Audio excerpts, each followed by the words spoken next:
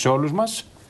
Ακούμε τι συζητήσει για την Ευρώπη. Εδώ λέει, καταραίει η Ευρώπη, λέει ο κύριος Αβραμόπουλος. Ναι, καταραίει η Ευρώπη, λέει σε 10 μέρες. Ωραία. Ο κύριος Αβραμόπουλος έχει βάλει ένα χρονικό όριο 10 ημερών, επειδή σε 10 μέρες, αν το κοιτάξουμε, είναι αυτή η συνάντηση 1 συν 10, δηλαδή Τουρκία με τις 10 Ναι. ευρωπαϊκές Η σύνοδος. χώρες, από, από την οποία από ό,τι ε, φαίνεται μέχρι στιγμής, ε, θα υπάρχει κάποια θετική κατάληξη. Αλλά το ζήτημα της ε, διάλυσης Ευρώπης, της προϊούσας διάλυσης Ευρώπης, θα έλεγα ότι δεν είναι με τον τρόπο με τον οποίο το βάζει ο κ. Αβραμόπουλος, δηλαδή σε 10 μέρες πρέπει να βρούμε ε, τη λύση. Θέλω να θυμίσω ότι ο, ένας πολύ έμπειρος πολιτικός που έχει ζήσει σχεδόν όλον τον αιώνα στη μάχημη πολιτική, ο Σμιτ, ο οποίος πέθανε πριν από Ναι, ναι. ένα-δύο μήνες. Ο καγκελάριος λέμε, ε; ο Ναι, πρώην. που είχε υπάρξει Ναι, ναι. καγκελάριος σοσιαλδημοκράτης Χέλμουτ Σμιτ. της ε, Δυτικής Γερμανίας. Τότε Ναι, ναι. δεν ήταν ενιαία η Γερμανία.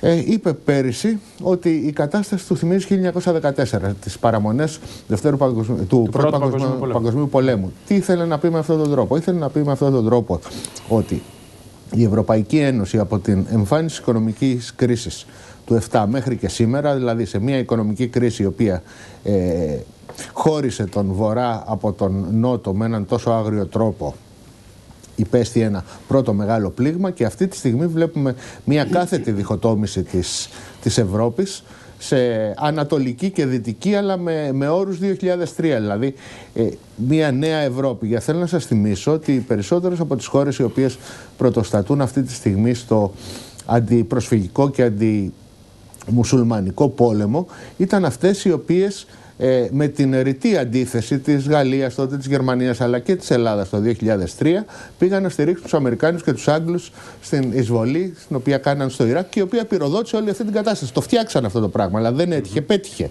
Το κάνανε. Ναι. Και τώρα 13 χρόνια μετά α, αρνούνται να, να αναγνωρίσουν εν πάση περιπτώσει τα επίχειρα των πράξεών τους ή των επιλογών στις οποίες συμμετείχαν. Αυτά τα πράγματα λοιπόν είναι, είναι χρήσιμο να τα κοιτάζουμε και στις δύο τους διατα, δι, διαστάσεις. Και την οριζόντια τομή στην Ευρώπη, βορράς-νότος και μια κάθετη Εσείς, ανατολή. κύριε, δύσης. κύριε Αυτό Κυρίτσι, το πράγμα κύριε Κυρίτσι, δεν εσείς με την οδηγεί εμπειρία κάπου που στην έχετε Ευρώπη. και την γνώση που έχετε και διαβάζετε ε, πάρα πολύ προσεκτικά α, και την αρθογραφία από το εξωτερικό κτλ. Σε αυτή την περίοδο, σε αυτή τη χρονική περίοδο, έχετε την αίσθηση ότι η Ελλάδα έχει συμμάχους στην Ευρώπη ή οι περισσότεροι είναι εναντίον μας Κοιτάξτε να δείτε. και θέλουν να μας απομονώσουν, άλλοι θέλουν να μας βγάλουν από τη Σέγγεν, άλλοι θέλουν ακόμα, δεν έχει φύγει από το μυαλό τους και τον Brexit ακόμα.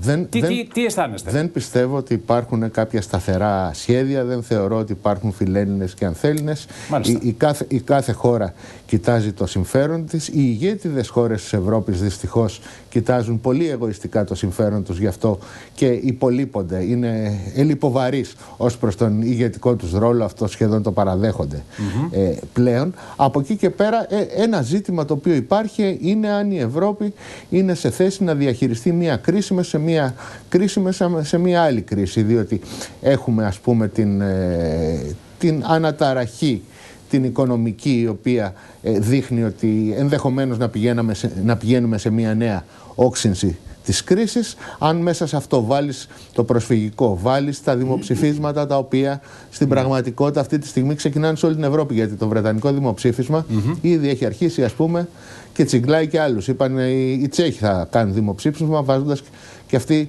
μια ατζέντα. Με το Αν- ίδιο ερώτημα όπως και οι Βρετανοί; Υποθέτω θα. Μένουμε, θα, φεύγουμε από την, Θα, ε, θα, θα βάλουν τα αιτήματά τους και αυτοί κτλ.